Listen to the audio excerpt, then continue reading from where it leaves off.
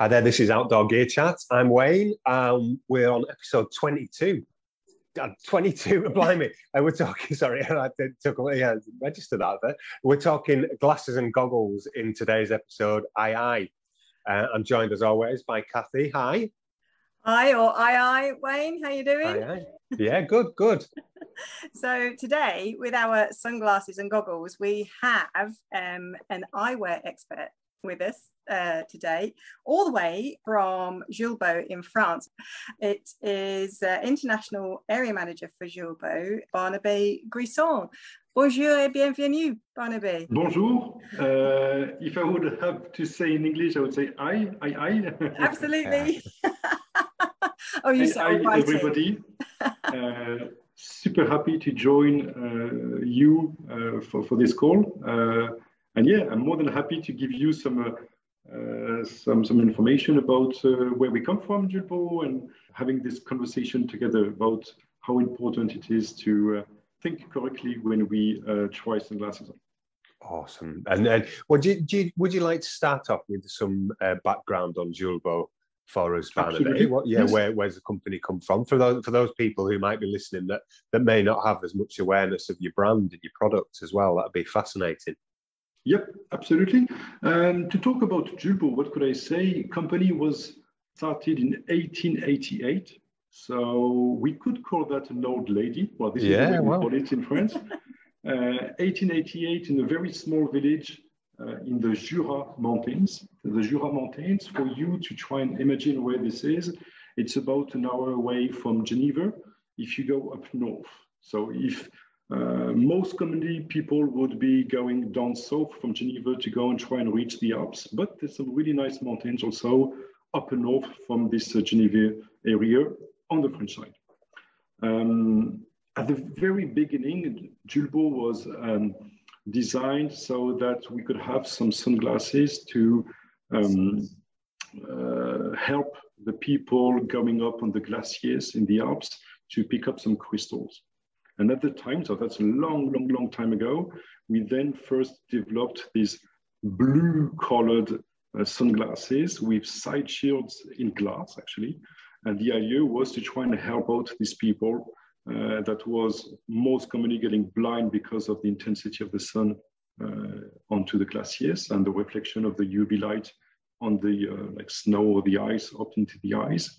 Um, and of course, protecting them also against the elements because by hitting the rocks to go and fetch these crystals, then with protective sunglasses, they could do that in a, in a safer way. So that's the very origin of where we come from. Then during the, the years, we've started doing a lot of development with mountaineering uh, people. Uh, and so that's why throughout the years, uh, we've always tried to develop products that were coming with something new, uh, were coming with something that didn't exist at the time. Every time that was our leitmotiv uh, to try and bring something uh, for all the outdoor and mountaineering um, enthusiasts. Uh, today, to give you some idea, so the company is pretty old, but still family owned, uh, independent. That's very important for us. It gives us a lot of capabilities when it comes to product development. We pretty much unlimited, so that's pretty good. Uh, but being independent is also uh, having the capability to um, do some absolutely outstanding servicing for our customers. Uh, that means that uh, we repair pretty much every frames that we come across.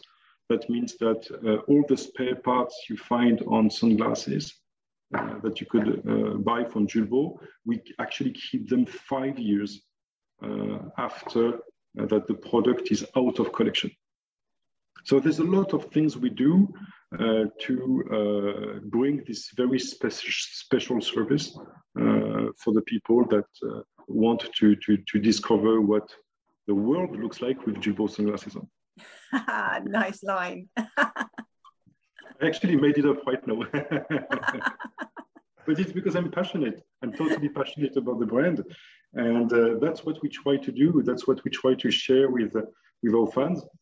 Uh, so once again, really being independent is very important for us. and always taking up to where we come from. We come from the mountains, we come from providing sunglasses for the very extreme environments. Uh, and therefore, we will be able, I guess, to, to have some conversations in these topics. Uh, the importance of the details is very is key. And that that that leads nicely into the next question i guess. What is what's what you know what and you've explained a little bit about the product development there but what what's the difference between normal sunglasses that people might wear fashion sunglasses i suppose uh, as opposed to sports sunglasses uh, and then the products that you're describing there fashion sunglasses or what we could call lifestyle sunglasses there's a lot of different namings to uh, to introduce this uh, this category um, are most commonly going to be sunglasses uh, with style. So the, the very only and unique feature that will be required is how does the uh, frame fits on everyone's face. So that's uh, uh, for the uh, lifestyle and, and fashion sunglasses. When it comes to sports sunglasses, uh, depending on the sports discipline we want to, to, to, to, to, address sunglasses for, we then have some very specific um, uh, features. Uh, if we talk about uh, mountaineering or glacier sunglasses, because both can be combined on one same type of sunglasses, this is an example. So that's called the Julbo Shield. There's a couple of features that are mandatory. First of all, for the mountaineering, you must need the very best lenses quality in terms of protection. So We'll talk about it a bit later on, I guess, uh, but there's different levels of protection. And when it comes to mountaineering, you must need the very best sun protection, UV protection for your eyes. There's another feature that's uh, very important is to have the capability to have some side shield. These side shields will avoid any kind of UV light to, to go through uh, in between the frame, your cheeks, and straight into your eyes. So that's mandatory. You must have that when you talk about mountaineering sunglasses. And the very last bit is having the capability to have some adjustable and some cords that you can attach to the frame. That's very important. So these are the three main um, features. And then depending on the brands, depending on the models, you're gonna have some extra features like uh, ventilation, like specific grip on the nose and so on and so on. When it comes to, um, let's say, cycling sunglasses, trail running sunglasses. So that's another discipline. Then we're going to find some other very specific uh, features. So here you've got one model called the Ultimate. As you can maybe see on the camera, it's maybe not easy, but you can easily think and believe that it's very lightweight. So mm. that's one of the features that's key. Uh, when you're practicing endurance sports, you must pretty much forget that you're wearing sunglasses. So that's why the lightweight is very important. Another thing, when it comes to the lenses, we're not going to be targeting specific, specific high protection lenses uh, because the, the environment is not always extreme, but we will be targeting specific lenses colors uh, that will, for example, taking about, talking about this specific product, it will enhance the contrast on the roads. So the idea when it comes to performance sunglasses is to have lenses that will really help you to have a better view, uh, a better understanding of the terrain. Uh, then, of course, the grip is very important because it may be a little bit bouncy. So most sunglasses in this product category will have grippy uh, temples on the sides, on the nose, nose uh, a lot of ventilation. Uh, most commonly, all the lenses will be equipped with uh, anti-fog treatment to make sure that when you breathe out your cycling day or trail running day, uh, hopefully there will be as less fog that will be uh, building up into the lenses. So that's giving you uh, some quick, uh, um, well, not that quick because I do take some time when I talk about it, but features about the different types of sunglasses we use according to the sports disciplines. That's fantastic. Thank you for yeah. For, thank you for the overview. I guess the, the difference between the sort of the glacier sunglasses or the mountaineering ones and the and the the sort of the other sport as well is you don't need that. I get uh, from from the early product de- development, you're not going to get as much stuff bouncing back into your face. You know, you're going to get flies on a, on a bike, for example. But yeah, when you're up on a mountain, the yeah, it's you, that eye protection is a little bit more um, needed, I suppose, isn't it? Absolutely. And and then that's that's what's what's the difference between uh, goggles and your and your sunglasses? Then what's the you know, what what would be the main differences between those? Um, goggles can be used in different ways, um, specifically when the uh, risk of um, uh, the sunglasses or the goggles falling down uh, are high or being, let's say, uh, taken away from the face are high. That could be high speed sports. Um, then the goggles will be preferred because, as you can imagine, with the band stick stuck to the, the, the, the goggles stuck to the face, have less capabilities to fly away. Uh, you can find that in sports like uh, freeride skiing, for example, alpine skiing, actually, uh, in the everyday life. Uh, parachutists, we have a lot of our athletes that climb up the mountains and then uh, fly, uh, fly on, on the way back down. Yeah. and so, of course, for, for, for these people, goggles will bring them a much higher field of protection, area of protection, because in these high speeds, of course, the air uh, is going to be much stronger uh, going through to the eyes. So in this specific case, uh, it can be good. Uh, however, we do have some in-between products. Julbo launched two years ago a very unique model of goggles called the Quick Shift. The quick shift is a model that we use commonly in the uh, ski mountaineering. We have a lot of our athletes using it. It's a goggle that you could see in the everyday life, but the little uh, detail is that you can unplug the bottom frame. By unplugging this bottom frame means that you can keep a goggle on even when you are practicing some endurance sports because of the airflow, the fog is not going to be built up quickly, quickly. But on top of that, taking out the bottom uh, parts of the goggle means that it's going to be less contact foam uh, on the face. And this will be reducing the sensation of heat that you could get with average goggles. So we do have in-between solutions sometimes that can be very handy. Well, yeah, yeah, that's that's fantastic, and yeah, and that I guess you've got the the, the full range covered off. So I guess for eye protection is is maybe more uh, it's more than just glasses and goggles, isn't it? Really, I guess is yeah, it's it's more.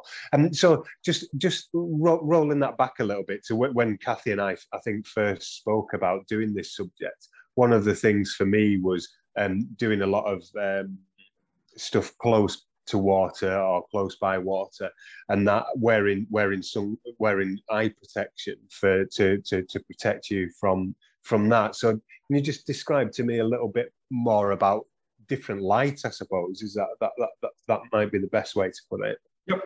To make it very simple, because um, it's actually a very technical field, and mm. I'm uh, even myself know a, very small uh, part of this very highly technical field, but I know enough uh, to, to, to give you some good advice. Uh, very simply, uh, the UV light uh, is very dangerous for the eyes. This specific UV light is cannot be seen with our eyes.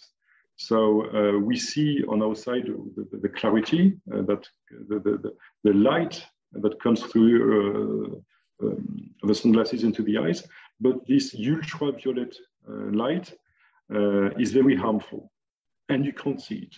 Uh, if I would be very extreme in my uh, in, in, my sentences, I would say that you should pretty much avoid going mountaineering uh, in hours between 10 a.m. and 4 p.m.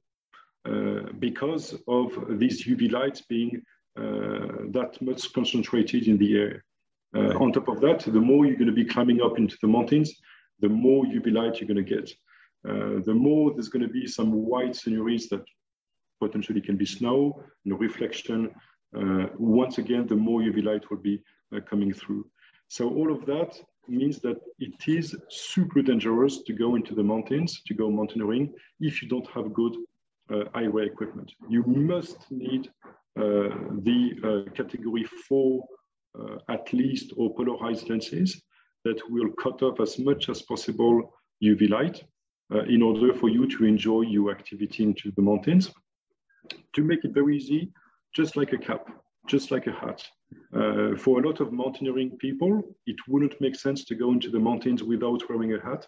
It's exactly the same when it comes to uh, high protective uh, sunglasses.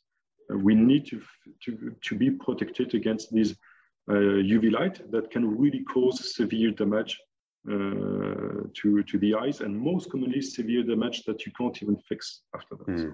Yeah. and that, I, I, guess the one that always comes to mind is cataract. That's only one mm. out mm. of so many other um, uh, damages that the UV lights can, can bring. So once again, uh, enjoy the mountains, uh, be, uh, be, be protective because you'll really enjoy it even more.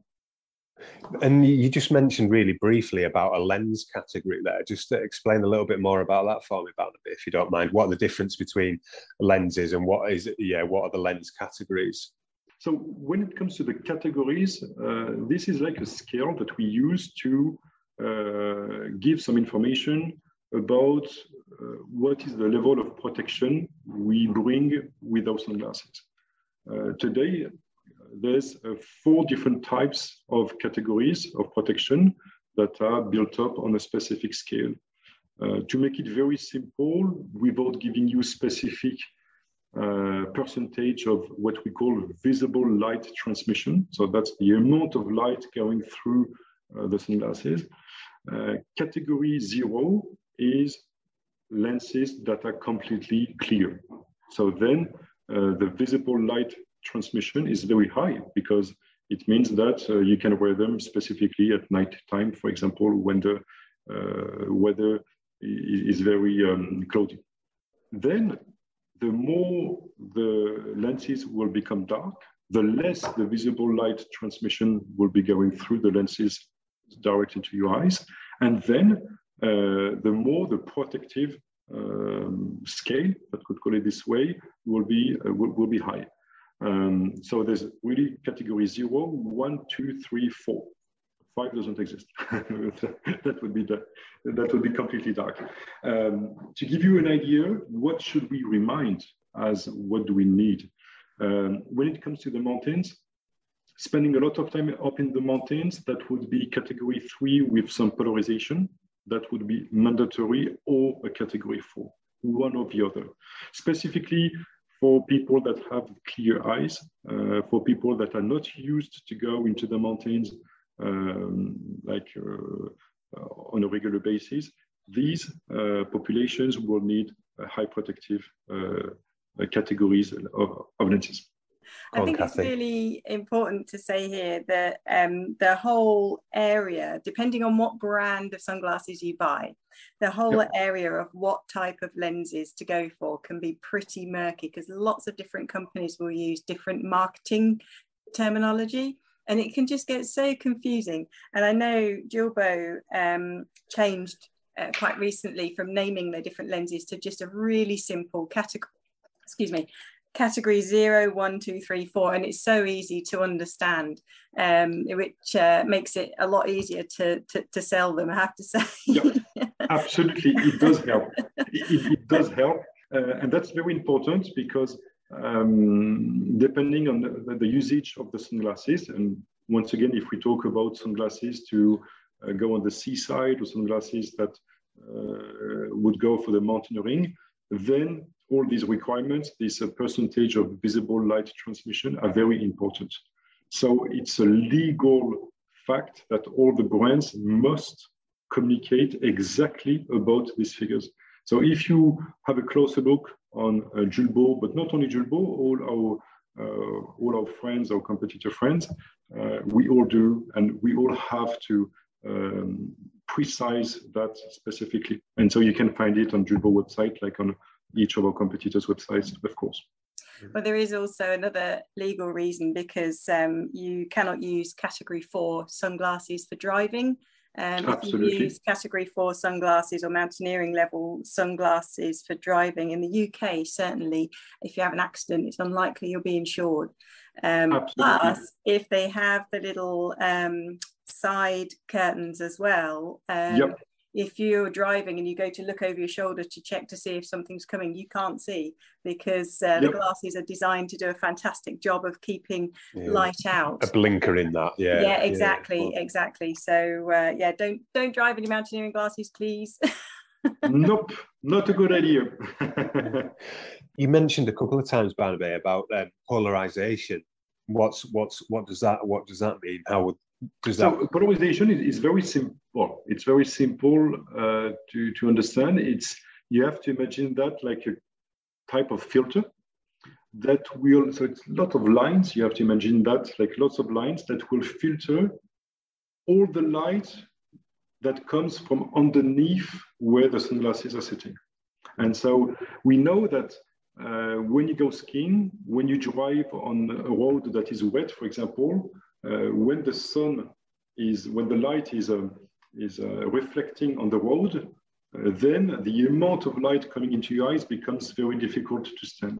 Mm. and so in this specific case scenario, the polarization becomes very useful because as, you, as I've said, this polarization filter, so the, the, way these lines are designed inside the lenses, will just cut off the glare coming from underneath. So that's absolutely fantastic and it will help a lot. Julbo even went a little bit further when it comes to these uh, polarization filters. Today, we are one of the only brands in the world to use these half polarization filters. So why would we use half and not a full polarization filter? The idea is that when you go skiing, for example, it's of course, as, as you can imagine, very uh, comfortable to go skiing with a polarization lens because every time the sun will reflect on the snow, you will have this visual comfort, not having too much glare coming from the top, which is the natural light, and uh, the, the, the, reflection on the ground, on, on the snow. But taking away all this uh, glare from the ground, from the bottom part, means that it's also taking away all the ideas of contrast. So for the uh, performance skiers, this can be a problem. Julbo developed this very specific 50% polarization filters, means that it's comfortable enough to cut off the majority of the glare that's coming down or coming from, from, from the down and up into the eyes, but still gives you the capability to point out the different types of snow, specifically the ice, for example, when it's needed. So we do play then with all the types of technicity of, of lenses, filters, depending on what we're looking for. So yeah, that's amazing. That I guess it is. It's that texture of the ground that you're going to be looking for when you're moving at speed skiing, I suppose, isn't it? Which, like you say, yep. if you eliminate all of that, suddenly you can end up in a bit of difficulty. I guess. Yeah, yeah and that's and that's made me think about lens color as well. So I've previously used like yellow lenses, for example. Was it yellow lenses on on snowy snowier grounds to as as opposed to oh, is it would is that the right thing to do? Was that and why is that yes, important? Uh, to make it very very simple, um, you can find it on pretty much everywhere on internet. Uh, you just type in chromatic circle. Chromatic circle is pretty much all the colors of um, that exist. And if you want to see some specific terrain that would be adapted to the sports discipline you're looking into, if it's, let's say, uh, trail running, uh, trail running, you're going to be looking into a specific terrain that's going to be close to the brownish color. Then you need to choose lenses that will be at the complete opposite on this chromatic circle.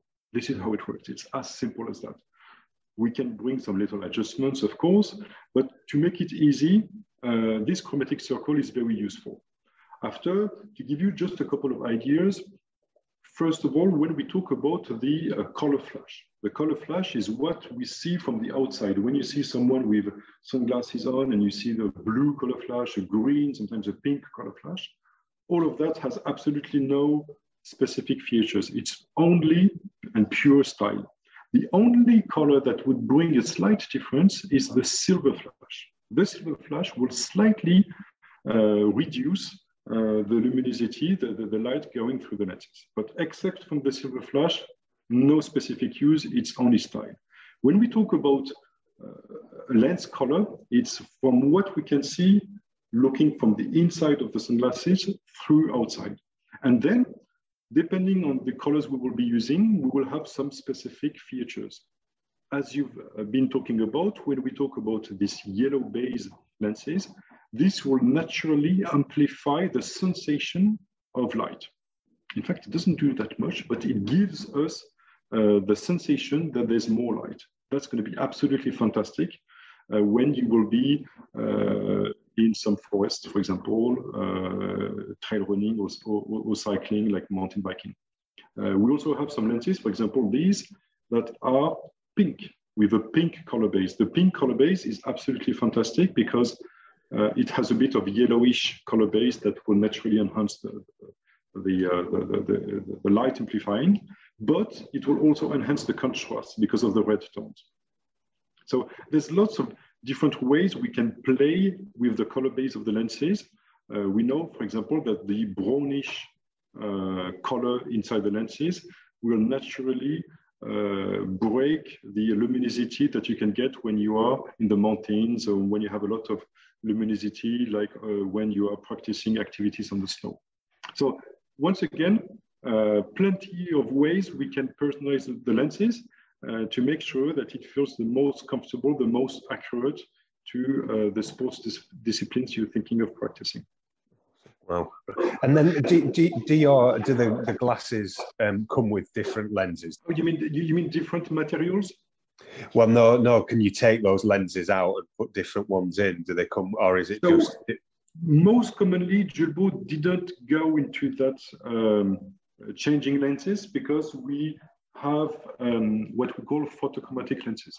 Uh, when we talk about photochromatic lenses, in fact, uh, inside the lenses, uh, we um, have some photochromatic components that will react to the outside luminosity. And so the idea of that is that uh, when you go in the mountains, for example, that's the best example, we know that the weather conditions change faster than when we are in a plane, mm. As simple as it is. And the idea is that depending on if the weather becomes uh, nice and sunny or when suddenly there's some clouds, uh, the idea is not to change every two minutes uh, of lenses. The idea is to have hopefully lenses that will adapt to the outside luminosity. So that's the purpose of the photochromatic lenses that we use.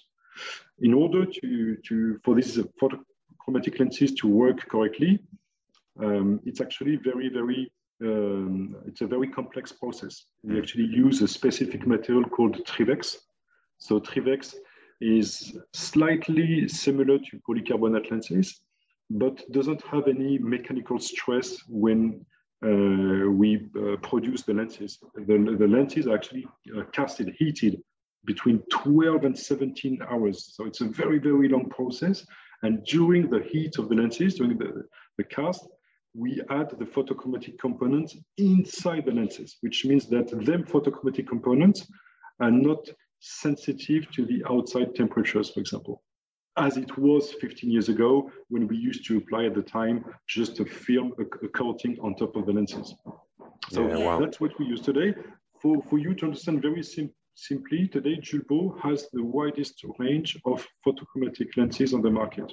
Category 2 to 4 uh, polarization, category 2 to 4 uh, with half polarization. We have category 1 to 3 high contrast, category one to three light amplifier, category zero to three uh, with a gray base. And so on. depending on what you want, we should pretty much have the good lenses for you.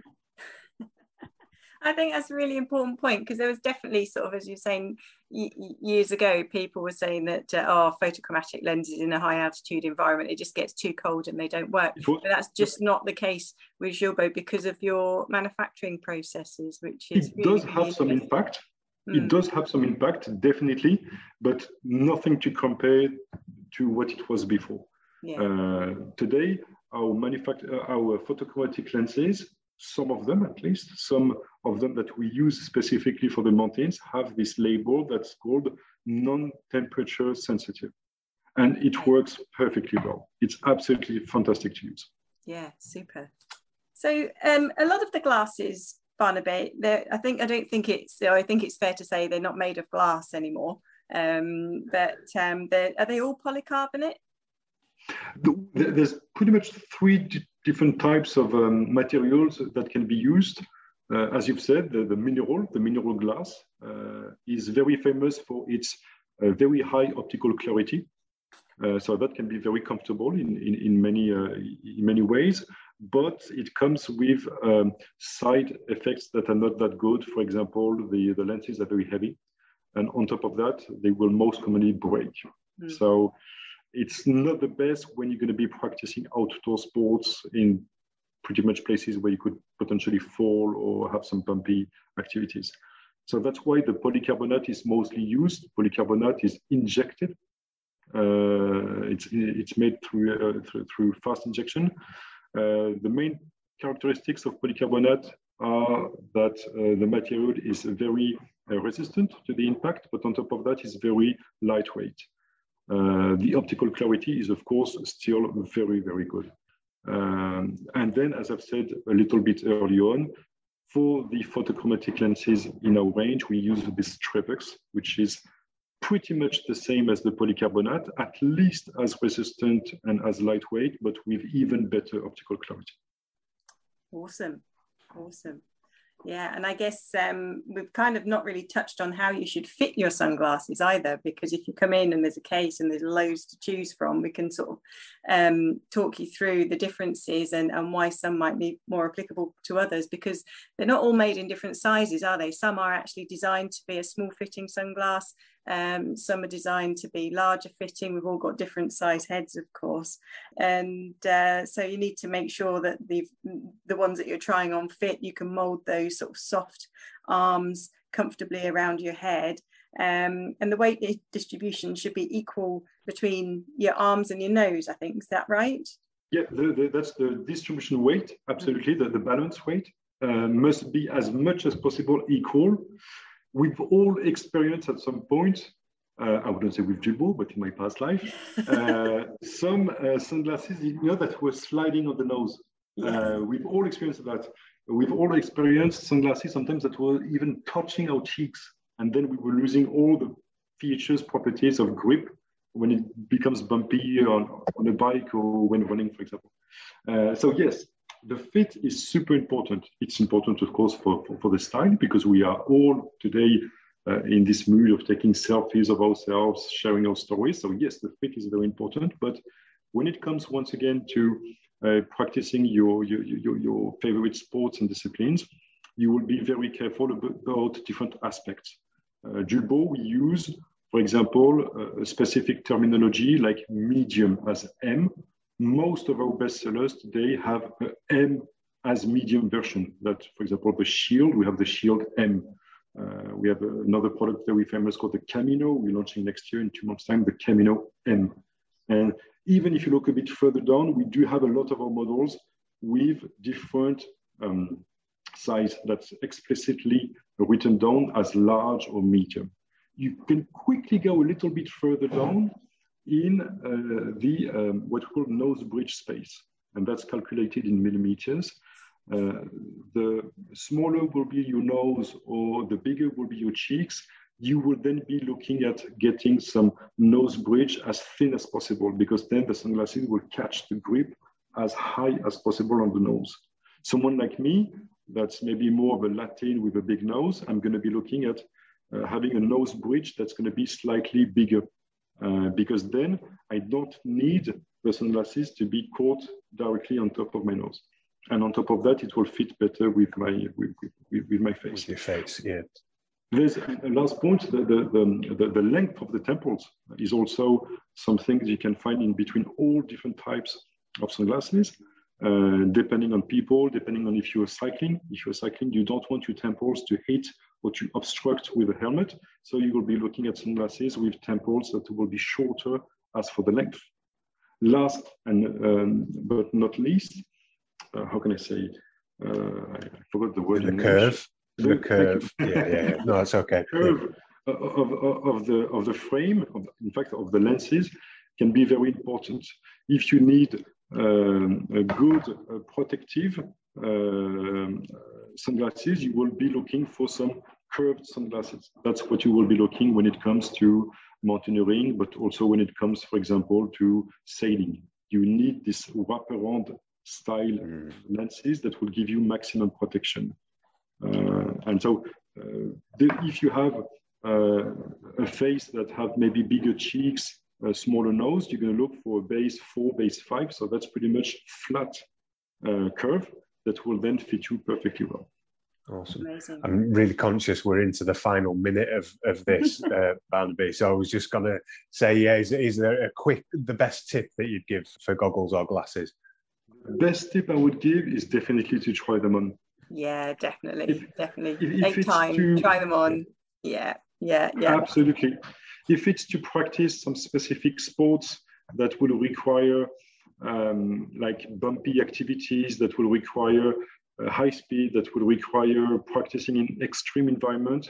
All of these different um, uh, cores must mean that you will need to find some glasses that will fully fit to your activities. That would be my, my best recommendation. So definitely take the time to try them on. Awesome. Wow, that was uh, that was incredible, Barnaby. That was just so much knowledge. How amazing. It is just fascinating. Well, yeah, we're sort of patently aware that we haven't done a great deal of talking in this episode, which is relatively unusual for both of us, I think. That's but that, that, an expert. yeah, yeah, well, exactly. Yeah, yeah. It's, it's just it's those, those people that we can speak to forever or listen to forever. And that was, so that was episode 22. That was uh, sunglasses and goggles. Uh, I, as, as yeah, we need, we need to work on the innuendos on these. We've, we've slipped a bit on these ones with with Ouchies' last one and I on this one. Uh, but it's when we're getting the sensible guys to come in and talk to us, though. I think that's yeah, the problem. Yeah, Not yeah. like you and I messing There's around. more coming. There's more coming. Don't worry. Yeah, yeah, exactly, exactly. so yeah, I've, I've been Wayne. Uh, thank you for listening. And I've been Cathy. And you can find out more about protecting your eyes on our Joe Brown Outdoor Academy uh, website at www.joebrownoutdooracademy.com. And also, you can see the lovely range of Julbo glasses that we sell in our shops at www.climashop.com.